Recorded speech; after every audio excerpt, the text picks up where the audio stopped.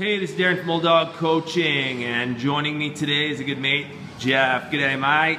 How you going? good, good, good. So Jeff and I are going to quickly show you an exercise we incorporate into Jeff's routine as part of our dynamic warm-up. Uh, Jeff, before we go into this exercise, what are a few keys that we want people to remember when they're trying this at home?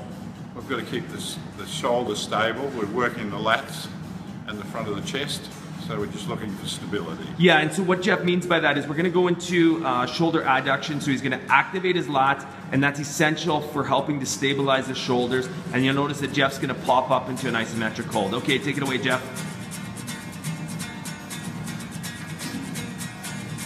So Jeff starts hands on the ball outside his body. Notice he's on his knees. He's gonna roll his shoulders underneath. He holds up.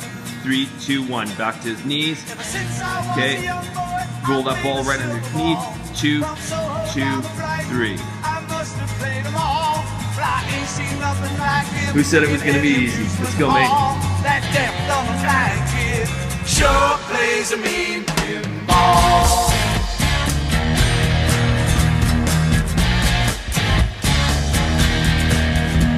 He stands like a statue, becomes part of the machine.